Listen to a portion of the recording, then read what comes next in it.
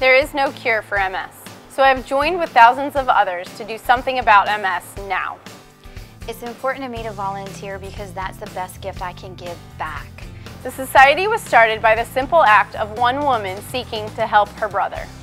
My journey with MS reminds me much of what Sylvia Lawry did, the founder of Multiple Sclerosis Society.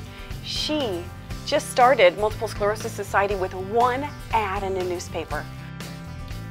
I am an activist. I'm uh, participating in a lot of things. I'm informing legislators. I advocate for government funding of MS research.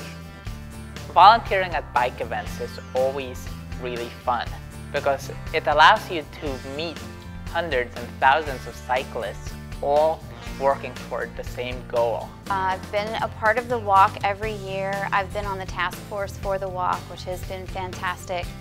Forming our walk team is phenomenal.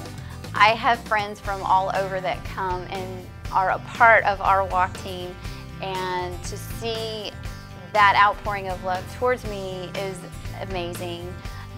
Beyond that, we're raising awareness and raising money. I started a support group in my county so that there's somewhere people can go for a positive um, place to talk about what's going on in their life.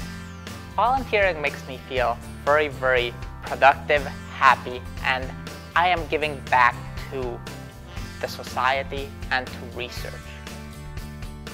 Volunteering has helped me personally more than I can describe in words. Not only has it helped me become a better person, but just to know that I have other people to relate to that also have MS. And whether I'm doing uh, activism, whether I'm doing uh, volunteering or running my group or doing a lot of other things, all those things uh, together uh, kind of make me feel better, make me feel like I'm uh, contributing uh, to society.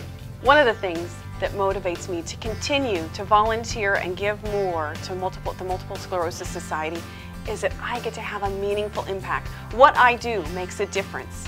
Who I, who I touch, who I call, who I invite makes a difference.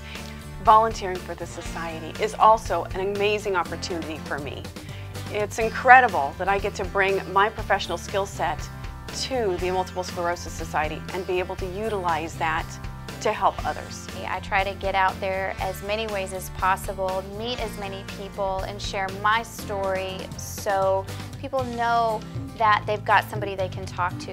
And I found volunteering is the best way for me to do that. You can volunteer at an event or provide support for people living with MS and their families in your community. You can manage projects, lead committees, ultimately become a leader in the worldwide MS movement.